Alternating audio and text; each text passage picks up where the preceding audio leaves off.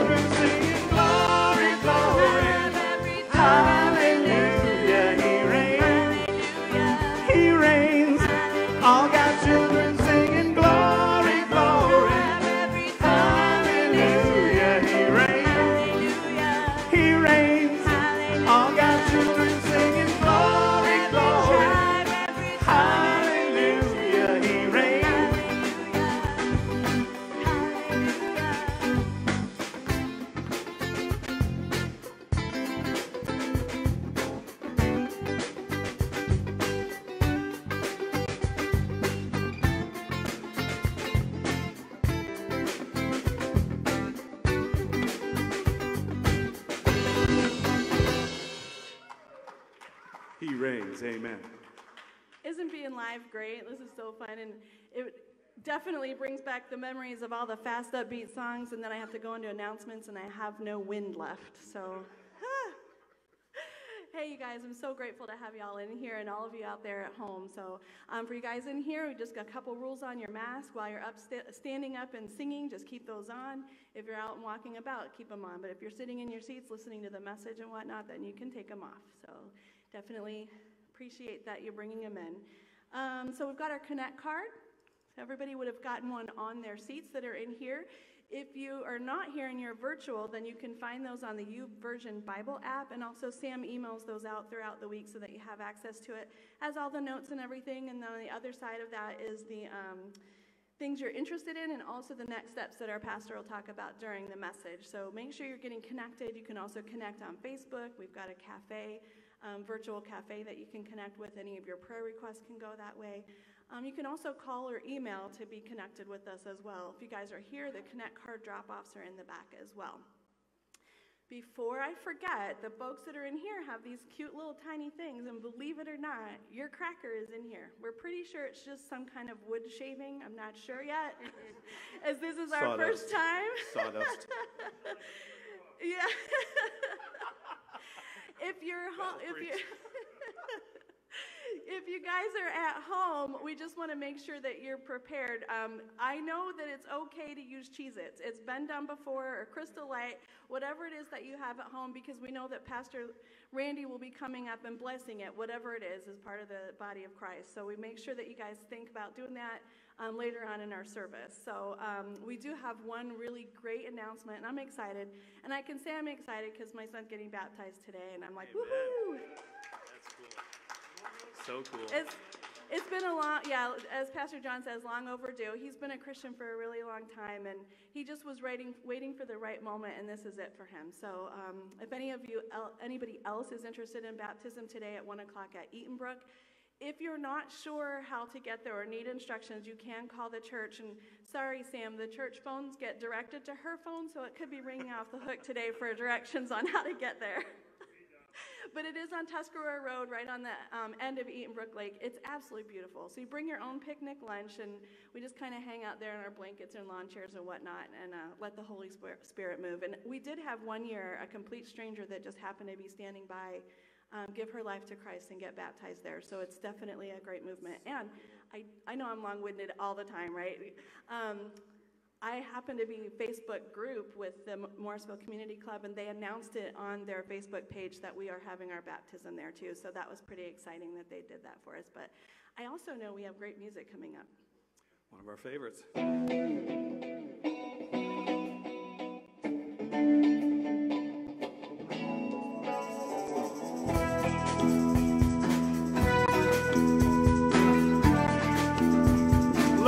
Are good.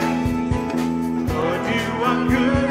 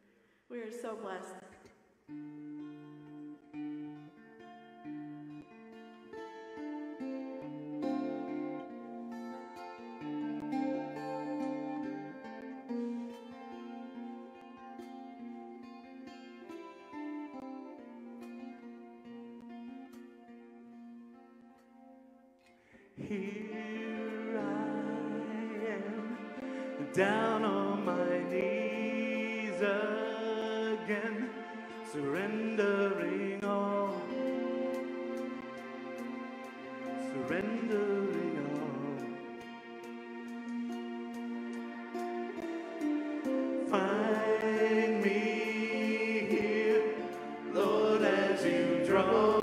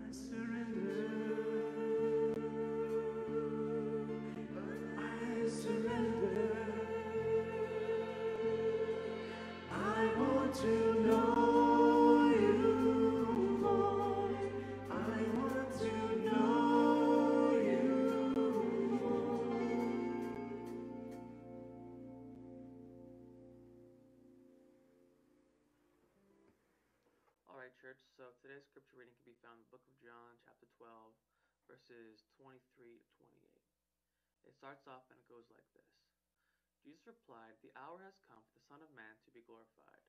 Very truly I tell you, unless the kernel of wheat falls to the ground and dies, it remains only a single seed.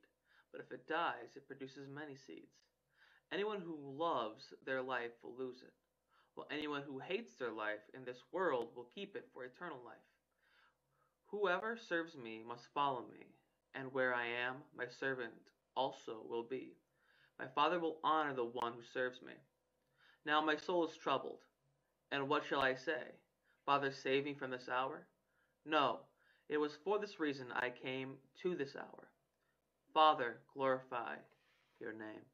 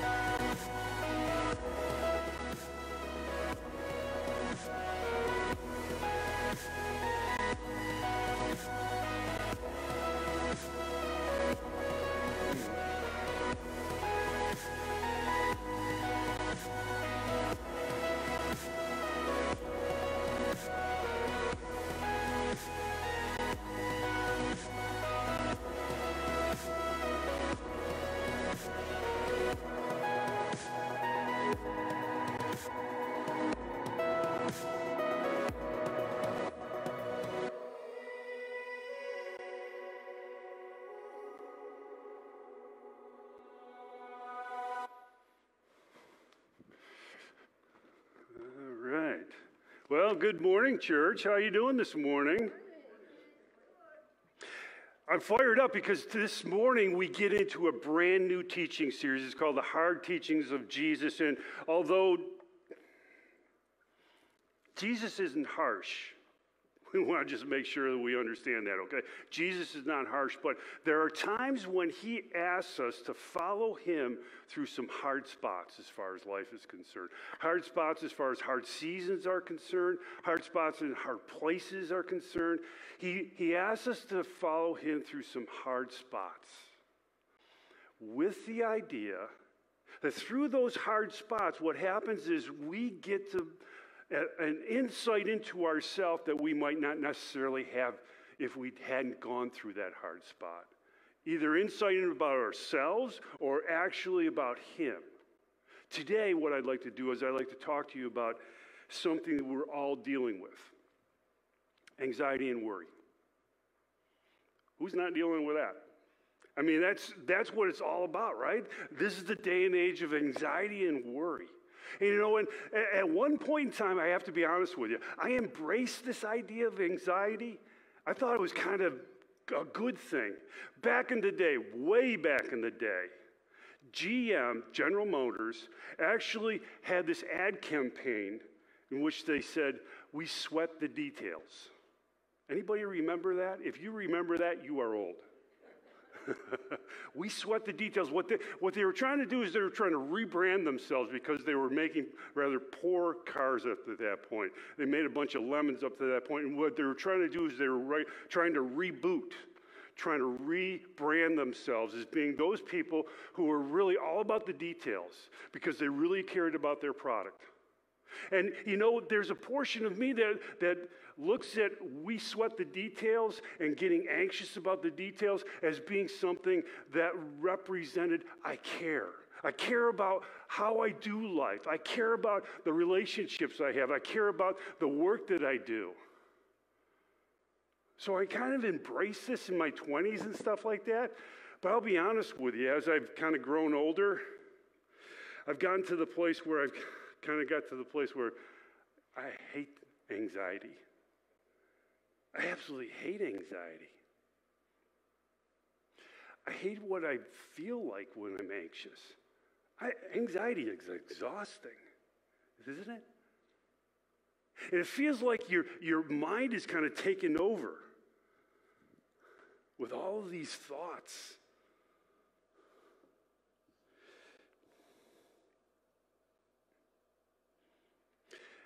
You know, perhaps you're like me, where you're in this place where you're you're all in as far as life is concerned.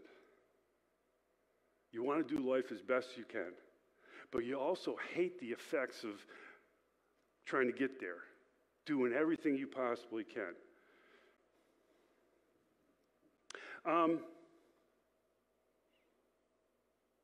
you know, one of the things that we often say is that if you're a high achiever, we look at high achievers and we go, wow, they can't be anxious. They are so good at so many things. But even high achievers are very anxious. Stephen Colbert, anybody know who Stephen Colbert is? That Colbert Show? High anxiety. He has an anxiety disorder according to WebMD. Oprah, anxiety issues. Elon Musk has anxiety disorder. Dude made founded Tesla. He he is SpaceX, right? He's trying to get to Mars. But he can't handle his anxiety. High achievers aren't immune from anxiety. We all are susceptible to anxiety. Whether you are following Jesus or you're not following Jesus, we're all susceptible. But Jesus said this He said, Who of you, by worrying, can add one single hour to your life? You know, what we do is we get to the place where we, we get uptight over trying to achieve something, but we also get uptight over just the way life goes. So, in a world and in a, a place where our culture is all about anxiety, how do we go about being less than anxious? Not worrying, not being controlled by anxiety. How we go about doing that? Today, I want to give you three things. Three things about how anxiety makes us hate something. But I also want to give you three observations about how, when we lean into Jesus, we can overcome the anxiety that wants to overcome us. Okay? So, you're ready? Three things that we get angry and hate anxiety about. The first one is experiencing it. Anxiety makes me hate experiencing it. I want to avoid it at all all costs. 15 years ago, give or take a year or two, Linda, Jimmy, and I went to Las Vegas for vacation. We wanted to go and blow everything. No, actually, I'm not a gambler. I was in the nursery business. I lost all my money in the plant materials, so I didn't have to go to Vegas. I already was a loser, okay? But what I'm, what I'm saying is, is that we went to Vegas and had side trips to LA to see my stepbrothers and also to uh, the Grand Canyon and so on and so forth. When we were in Vegas, we stayed at the Stratosphere Hotel. That was the tallest one on the strip. It's like a thousand feet or something along those lines. And of course, my son, who loves heights, wanted to go up to the observation deck that was all the way up. And Linda wasn't going. Thanks, hon. So take a guess who had to go with him. I hate heights. I'll tell you straight, I hate heights. This had one of those roller coasters that goes out over the side, and you go, there's no way I'm doing that. No way I'm doing that. What really freaked me out is the, the one spot where you could actually, you had a glass panel, you could look down a thousand feet where your body was going to bounce once the glass broke and you went through. Seriously. I'm going, oh man, I, I'm going to wet myself any moment just thinking about it. I hated that. Absolutely hated that. But you know that acrophobia, and I had to look it up to try to actually figure the fear of heights.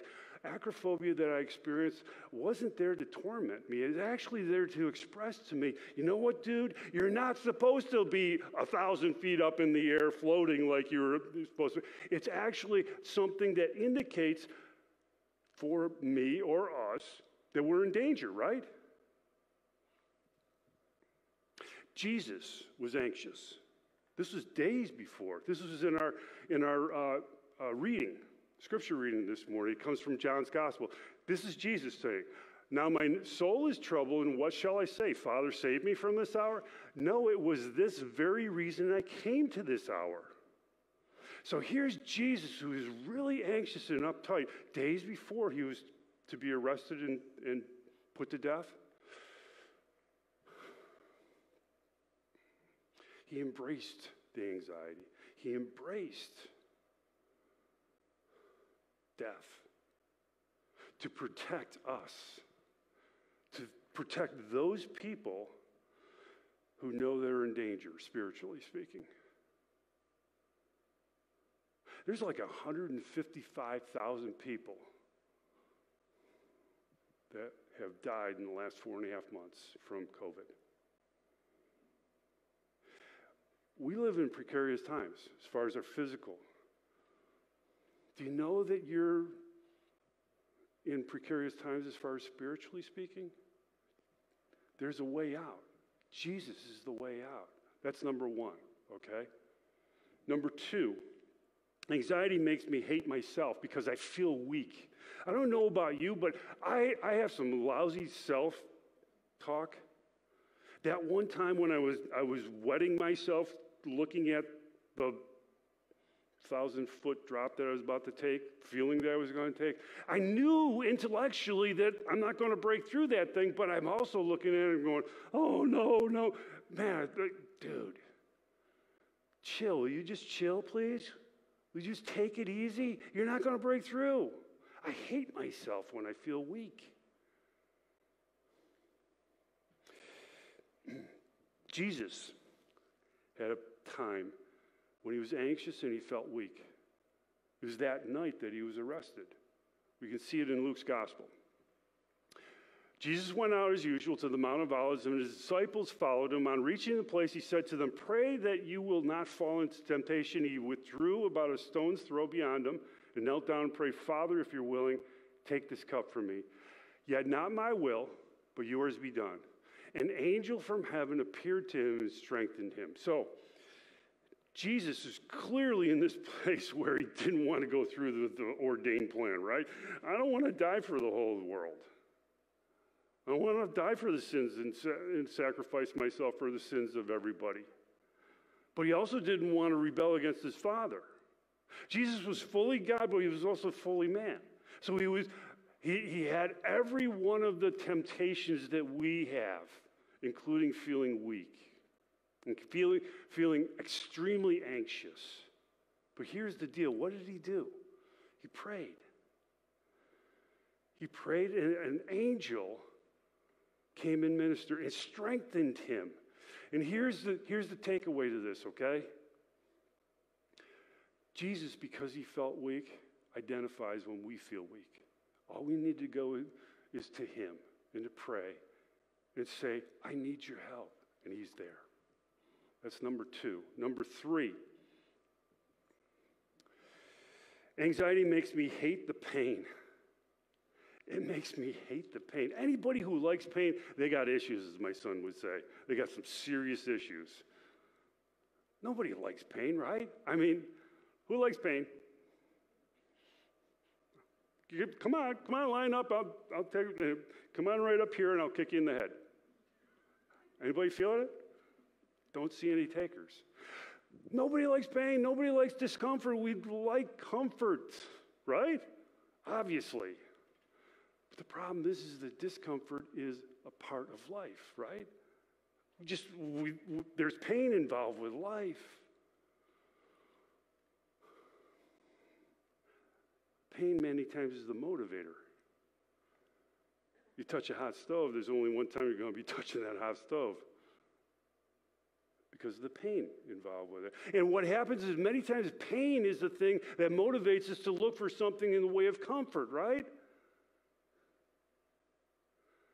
Jesus on that night, okay, at the Mount of Olives, when he was praying, he was strengthened. And he was strengthened in order for him that first time, he was strengthened by the angel so that he could go and lean into the discomfort that he was going to have to live by for the next, what, 24 hours or so?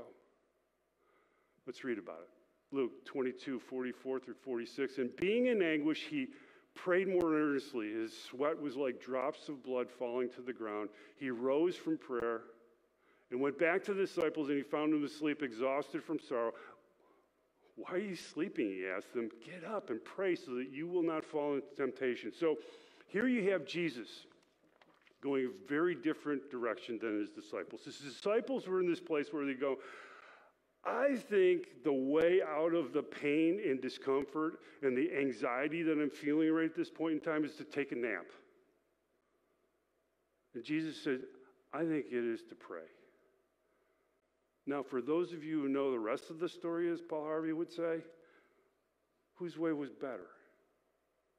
I think it's fairly obvious Jesus' way is better because all of his disciples beat feet and left town.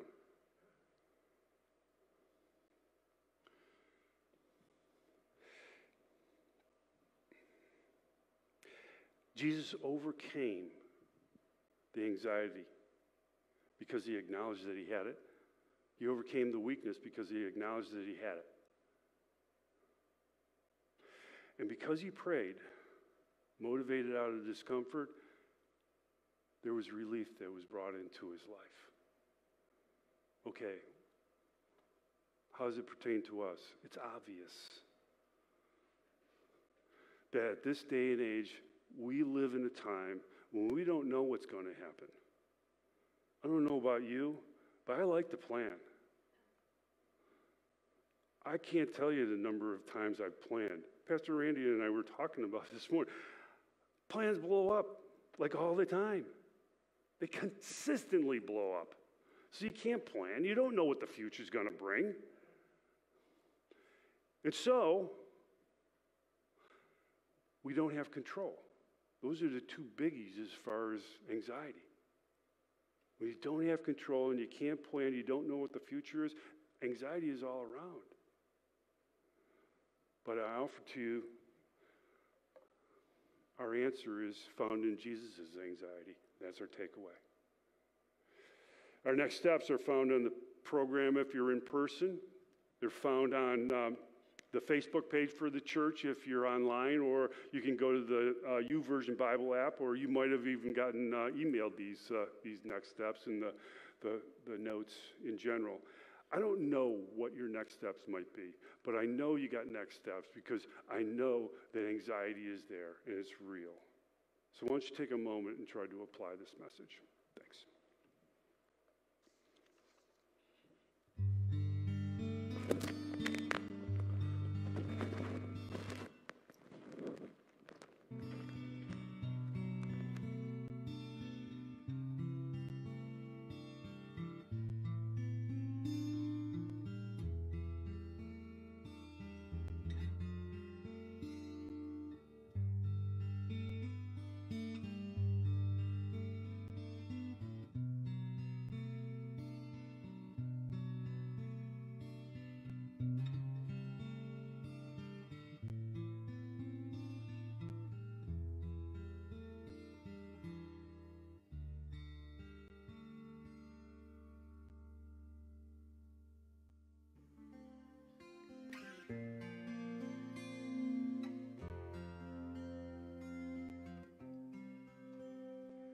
Amazing grace, how sweet the sound that saved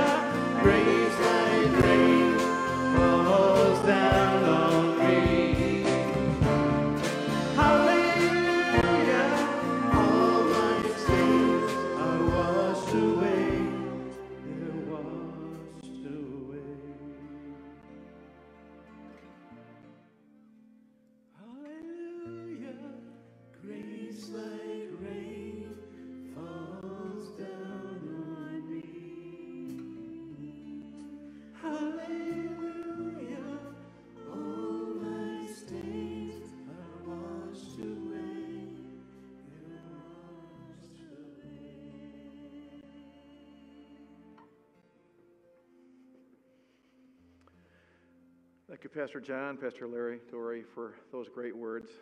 I got to take my glasses off because they're fogging up. Um, anxiety is a real thing. I can guarantee to you, every pastor in the United States this morning was praying to God, how do I keep our church open to serve you and to serve the people? Every pa- I guarantee it, every pastor. God responds to his people and says, we, There's this thing about tithes and offerings. And you don't do it to pay bills, you do it to honor God. And when God is honored, the church is blessed. That answers the pastor's prayers when we are obedient to his will. We have several ways to give, and you know, you know them. We have uh, you can the donate button on the on the internet for the church website. There's um, text to give. There's easy tithe. You can mail your check into the church. You can there are boxes in the back. There's several ways to do that. So I would encourage you to honor God, so that the church can be blessed. And when you have that opportunity, please do that. Now we're looking at a, a very different um, kind of communion today. This is unique for me. Um, I want to give you some instruction. My elementary teacher training says don't do something without telling the people how to do it. This is our communion um, system. I'm going to tell you there's, there's two little sections. There's a, there's a transparent piece that you pull off the top that will give you the cracker, and the second piece you pull off that will give you the juice, so that you know while I'm, while I'm leading directions and people at home should have everything ready. So I'm just going to get to the inv- invitation, and when we're ready for this, uh, we can take it together. The invitation is this You who truly and earnestly repent of your sins, who live in love and peace with your neighbors, and who intend to lead a new life following the commandments of God and walking in his holy ways, draw near with faith and take this holy sacrament to your comfort. And humbly kneeling, make your honest confession to Almighty God. And let's, let's pray together. Almighty God, Father of our Lord Jesus Christ, maker of all things, judge of all people, we confess that we have sinned, and we are deeply grieved as we remember the wickedness of our past lives. We have sinned against you, your holiness, and your love, and we deserve only your indignation and anger. We sincerely repent, and we are genuinely sorry for all wrongdoing and every failure to do the things that we should. Our hearts are grieved, and we acknowledge that we are hopeless without your grace. Have mercy upon us. Have mercy upon us, most merciful Father, for the sake of your Son, our Savior, Jesus Christ, who died for us. Forgive us, cleanse us, give us strength to serve and please you in newness of life, and to honor and praise your name through Jesus Christ, our Lord. Amen. And now, on the night of his betrayal, Jesus took the bread. And when he had given thanks, he broke it and gave it to his disciples, saying, Take, eat, this is my body, which is given for you. Do this in remembrance of me. In like manner, after supper, he took the cup, and when he had given thanks, he gave it to them, saying, Drink of this, all of you, for this is my blood of the New Testament, which is shed for you and for many, for the remission of sins. Do this as often as you drink it in remembrance of me. Lord God, we thank you for this day and for the awesome messages we've heard. Bless us this day. Help us to do your will and your word. In Jesus' name we pray. Amen. Thank you, everyone, for being here. Those at home, thanks for listening in. We'll see you as soon. We'll see you next week. I'm going to allow the ushers to dismiss us um, so that we can do this properly. God bless you. We'll see you next time.